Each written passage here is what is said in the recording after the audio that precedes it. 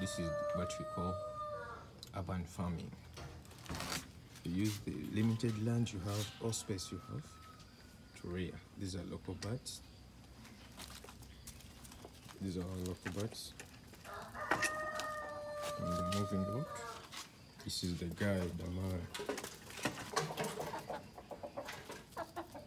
then after when they get out we do the cleaning so that we prevent also that we avoid diseases caused by placentation so we do the cleaning and they move out. This is what they're doing. They're eating.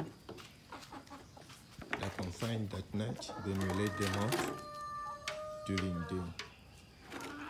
This is what we call urban farming. Don't forget to subscribe Learn many. Land many coach. Thank you.